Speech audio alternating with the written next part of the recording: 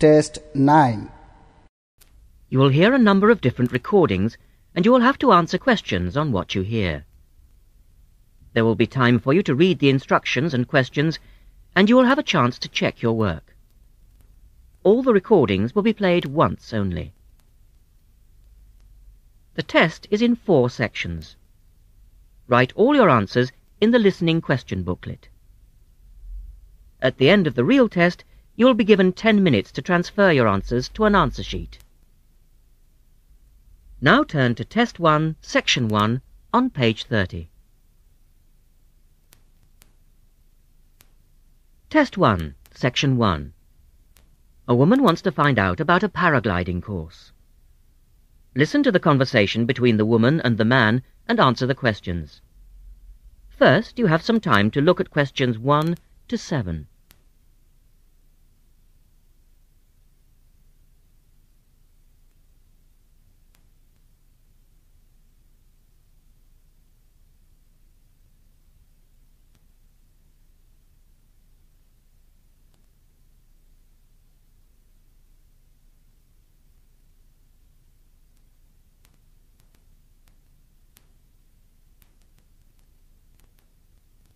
You will see that there is an example which has been done for you. On this occasion only, the conversation relating to this will be played twice.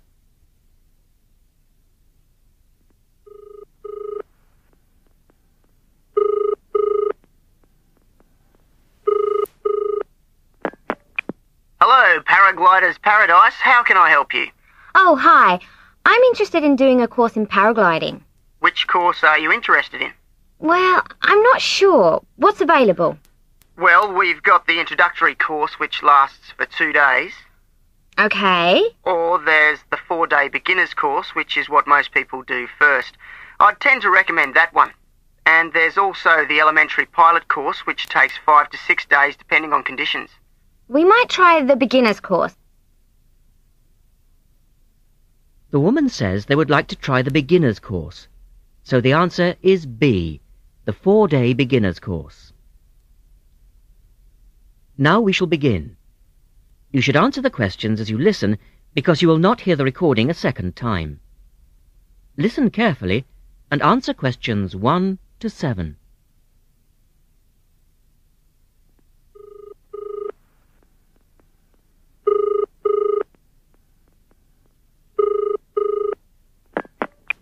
Hello, Paragliders Paradise. How can I help you? Oh, hi.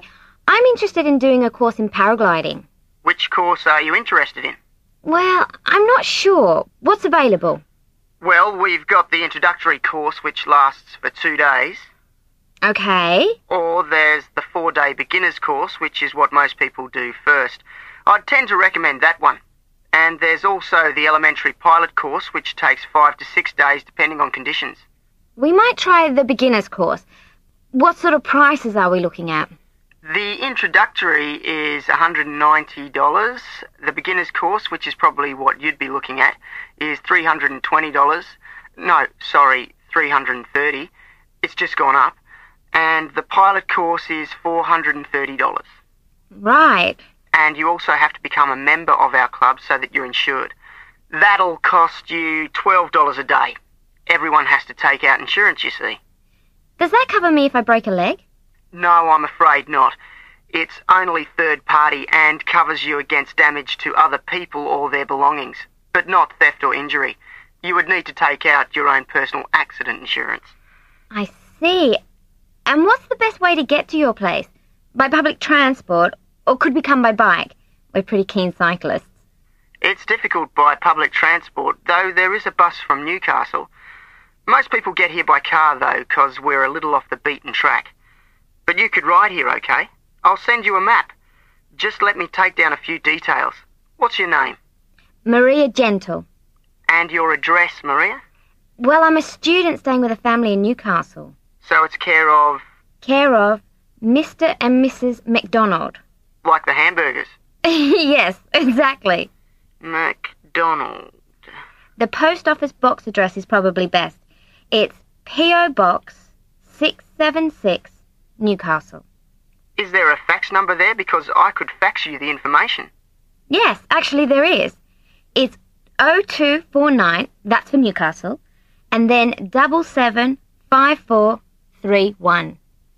Okay, now if you decide to do one of our courses, you'll need to book in advance and to pay when you book. How would you be paying? Uh, by credit card, if that's okay. Do you take Visa? Yes, fine. We take all major cards, including Visa. Okay then. Thanks very much. The girl is telling her friend about the course. Look at questions 8 to 10.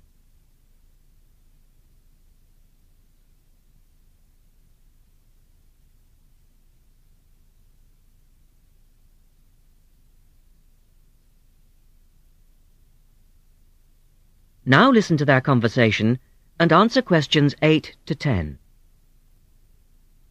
Hi, Pauline. Hi, Maria. What's that you're reading? Just some information from a paragliding school. It looks really good fun. Do you fancy a go at paragliding?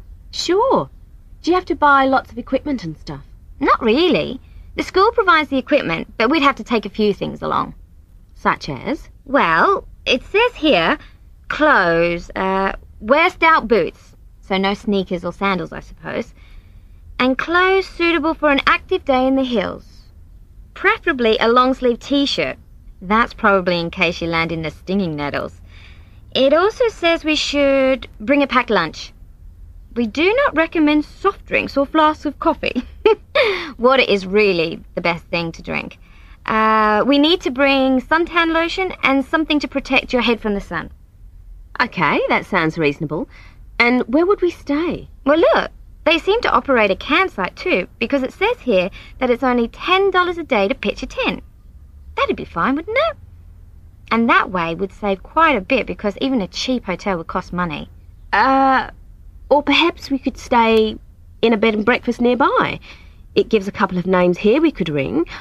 I think I might prefer that. Uh, hotels and youth hostels would all be miles away from the farm, and I don't fancy a caravan. No, I agree. But let's take a tent and pray for good weather. Okay, let's do it. what about next weekend? No, I can't. I'm going on a geography field trip. And then it's the weekend before the exams, and I really do need to study. Okay then, let's make it the one after the exams. Fine, we'll need a break by then. Can you ring and let me know if you can find out some. That is the end of section 1. You now have half a minute to check your answers.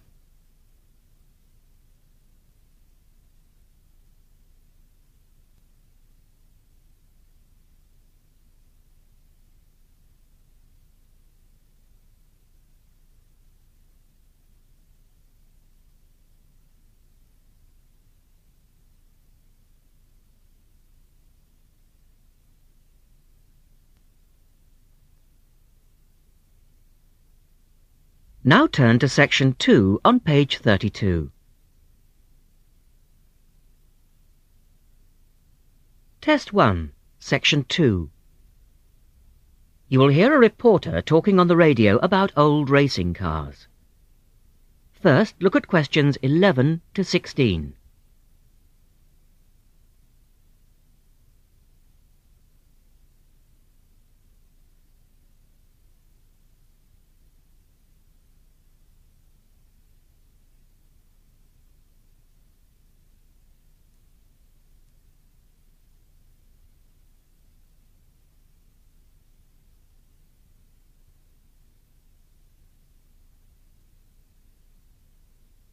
As you listen to the first part of the talk, answer questions 11 to 16.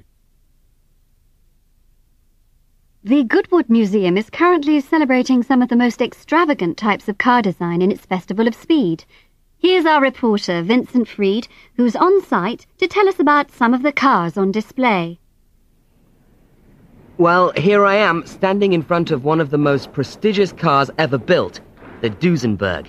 A fantastically expensive, luxurious car built in the early part of the 20th century and bearing all the glamorous qualities of the Jazz Age. How many were there? Well, only Four-hundred-and-seventy-three Duesenberg J-types were ever built, and the model here is one of the rarest. Each had a short 125-inch chassis or framework, and the body was always in the form of an open two-seater. The technology behind the car's 6.9 litre engine was extraordinary. It featured capsules of mercury in the engines to absorb vibration and provide an incredibly smooth ride. In fact, these cars offered unparalleled performance. In an age when 160 kilometers per hour was considered very fast, the Duesenberg promised a top speed of 180 kilometers per hour and could do 140 kilometers per hour in second gear. Duesenberg, who designed the car, sold it as a frame and engine. This was typical of the age again, and many prestige manufacturers such as Rolls-Royce did exactly the same. Owners able to afford the hefty $9,000 price tag for the basic car would then commission a coachwork company to build a body tailored to their own individual requirements. The Duesenberg's great attraction for the driver was its instrument panel, which offered all the usual features but also several others, including a stopwatch. It was the Duesenberg's technology that lay behind its success as a racing car, and they dominated the American racing scene in the 1920s winning the Indianapolis Grand Prix in 1924, 25 and 27. Now look at questions 17 to 20.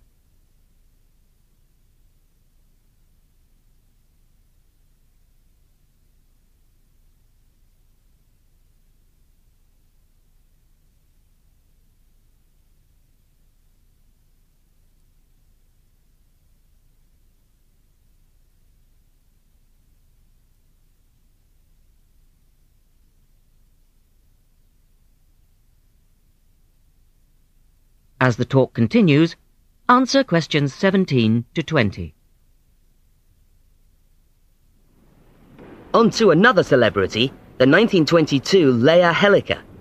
Only 30 of these French propeller cars were built, and the model here at Goodwood, which was the fourth to be made, is thought to be the only surviving example still capable of running. The brains behind this car was Marcel Leyat, who was an aviation pioneer first and foremost, and the influence of flying is quite apparent in the car. The Leyat very strongly resembles a light aircraft with its front propeller, but in this case, it's minus any wings, of course. It's quite odd to think that this car was whirring through France just as the Duesenberg was blasting down roads at 160 kilometers per hour across the Atlantic. The Leyats were used regularly in France in the 1920s and were even produced in saloon and van form, as well as two-seater the Leyat matched its propeller drive with its equally bizarre steering, which used the rear rather than the front wheels. But despite looking rather frail, it was a tough machine. In fact, when troops tried to steal it during the Second World War, the car's baffling design was clearly beyond the would-be thieves, and it ended up being driven into a tree, breaking the propeller. And now for the Firebird, this extraordinary... That is the end of section two. You now have half a minute to check your answers.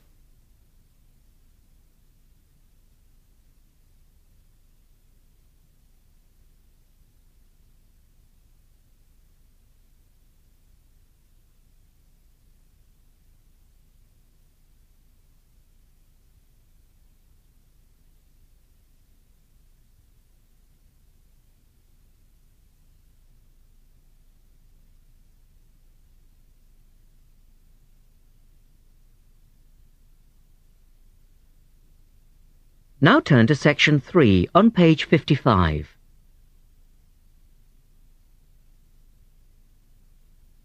You will hear a discussion about a system of writing for the blind known as Braille. First, look at questions 21 to 23.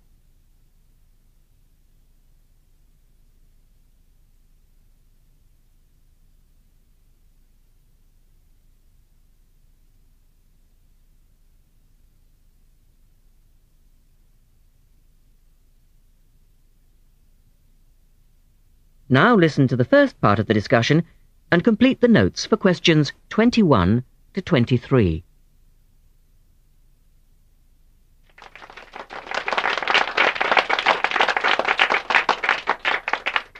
Um, we're very pleased to welcome to our special interest group today Dr. Linda Graycar, who is from the City Institute for the Blind. Linda is going to talk to us about the system of writing for the blind known as Braille. Linda, welcome. Thank you. Now, we'd like to keep this session pretty informal, and I know Linda won't mind if members of the group want to ask questions as we go along. Well, let's start with an obvious one. What is Braille, and where does it get its name from? Well, as you said, Braille is a system of writing used by and for people who cannot see. Uh, it gets its name from the man who invented it, the Frenchman Louis Braille, who lived in the early 19th century. Was Louis Braille actually blind himself? Well, he wasn't born blind, but he lost his sight at the age of three as the result of an accident in his father's workshop. Uh, Louis Braille then went to Paris to the National Institute for Blind Children, and that's where he invented his writing system at the age of only 15 in 1824, while he was at the Institute. But he wasn't the first person to invent a system of touch reading for the blind, was he? No, another Frenchman had already come up with the idea of printing embossed letters that stood out from the paper, but this was very cumbersome and inefficient. Did um, Louis Braille base his system on, on the first one? No, not really. When he first went to Paris, he heard about a military system of writing using 12 dots. This was a system invented by an enterprising French army officer, and it was known as night writing. It wasn't meant for the blind, but rather for battle communications at night. That must have been fun. Look at questions 24 to 30.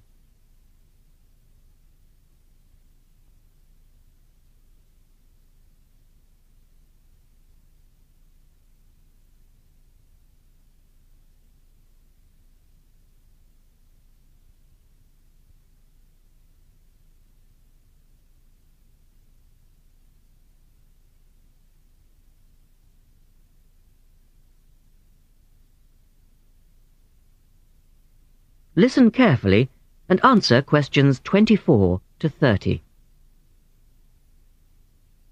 Anyway, Braille took this system as a starting point, but instead of using the 12 dots, which night writing used, he cut the number of dots in half and developed a six dot system. Uh, can you give us a little more information about how it works? Well, it's a system of touch reading which uses an arrangement of raised dots called a cell. Braille numbered the dot positions 1, 2, 3 downward on the left and 4, 5, 6 downward on the right. The letters of the alphabet are then formed by using different combinations of these dots. Uh, yes? So, is the writing system based on the alphabet with each word being individually spelt out? Well, it's not quite that simple, I'm afraid. For instance, the first ten letters of the alphabet are formed using dots 1, 2, 4, and 5. But Braille also has its own short forms for common words. For example, B for the word but and H for have. There are many other contractions like this. So you spell out most words letter by letter, but mm-hmm. you use short forms for common words. Yes. Though I think that makes it sound a little easier than it actually is. And was it immediately accepted? I mean, did it catch on straight away? Well, yes and no. um, it was immediately accepted and used by Braille's fellow students at the school, but the system was not officially adopted until 1854, two years after Braille's death. So official acceptance was slow in coming. I suppose it works for all languages which use the Roman alphabet. Yes, it does, with adaptations, of course. Can it be written by hand, or do you need a machine to produce Braille? Well, you can write it by hand onto paper with a device called a slate and stylus. But the trick is that you have to write backwards, from right to left, so that when you turn your sheet over, the dots face upwards and can be read like English from left to right. Oh, I see. Uh, But these days, you'd probably use a Braille writing machine, which is a lot easier. And uh, tell us, Linda, is Braille used in other ways other than for reading text? Yes, indeed. In addition to the literary Braille code, as it's known, which of course includes English and French, there are other codes. For instance, in 1965, they created a form of Braille for mathematics. I can't imagine trying to do maths in Braille. Yes, that does sound difficult, I agree. And there's also a version for scientific notation. Oh, and yes, I almost forgot. There is now a version for music notation as well. Well, thanks, Linda. That was most interesting. Now, does anyone have any last questions? Yes. Roughly how long does it take to learn to read Braille? Listen carefully and answer questions 24 to 30.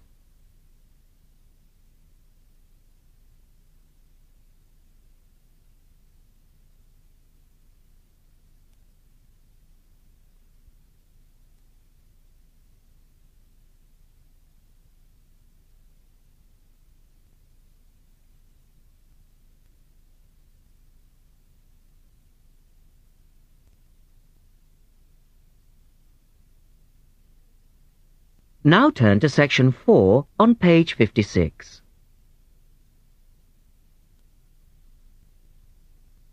Test 2, section 4. You will hear a talk about memory in babies and young children. First, you have some time to look at questions 31 to 35.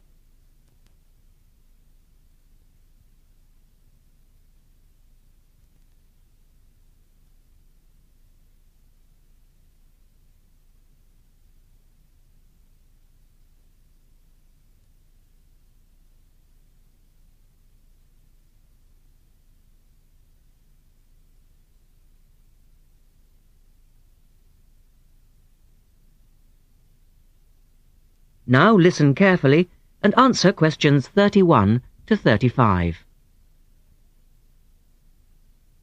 We're going to look today at some experiments that have been done on memory in babies and young children. Our memories, it's true to say, work very differently, depending upon whether we are very old, very young, or somewhere in the middle. But when exactly do we start to remember things? And how much can we recall?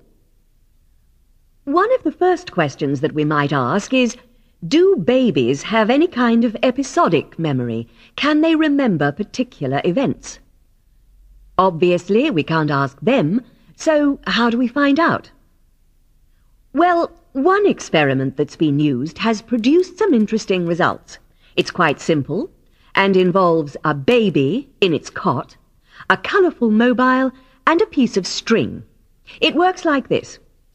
If you suspend the mobile above the cot and connect the baby's foot to it with the string, the mobile will move every time the baby kicks.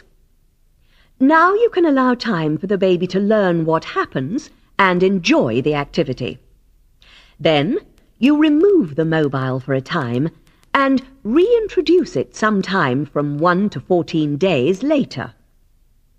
If you look at this table of results, at the top two rows, you can see that what is observed shows that two-month-old babies can remember the trick for up to two days, and three-month-old babies for up to a fortnight.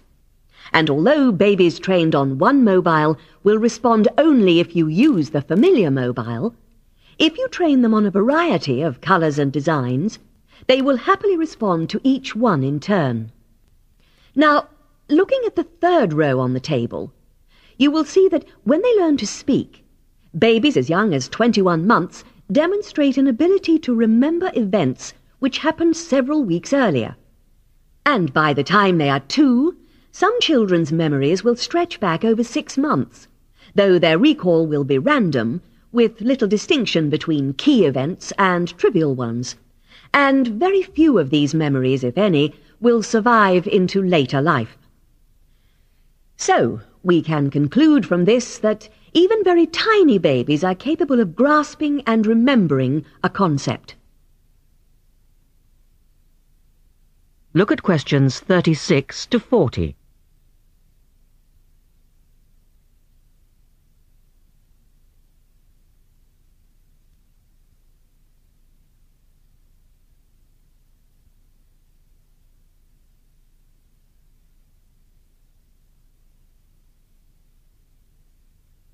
Now answer questions 36 to 40. So, how is it that young infants can suddenly remember for a considerably longer period of time? Well, one theory accounting for all of this, and this relates to the next question we might ask, is that memory develops with language. Very young children with limited vocabularies are not good at organizing their thoughts. Though they may be capable of storing memories, do they have the ability to retrieve them? One expert has suggested an analogy with books on a library shelf. With infants, he says, it's as if early books are hard to find because they were acquired before the cataloguing system was developed. But even older children forget far more quickly than adults do. In another experiment, several six-year-olds, nine-year-olds and adults were shown a staged incident. In other words, they all watched what they thought was a natural sequence of events. The incident went like this. A lecture, which they were listening to, was suddenly interrupted by something accidentally overturning. In this case, it was a slide projector. To add a third stage, and make the recall more demanding, this accident was then followed by an argument. In a memory test the following day, the adults and the nine-year-olds scored an average 70%, and the six-year-olds did only slightly worse. In a retest five months later, the pattern was very different. The adults' memory recall hadn't changed, but the nine-year-olds had slipped to less than 60%, and the six-year-olds could manage little better than 40% recall. In similar experiments with numbers, digit span is shown to vary. That is the end of section 4. You now have half a minute to check your answers.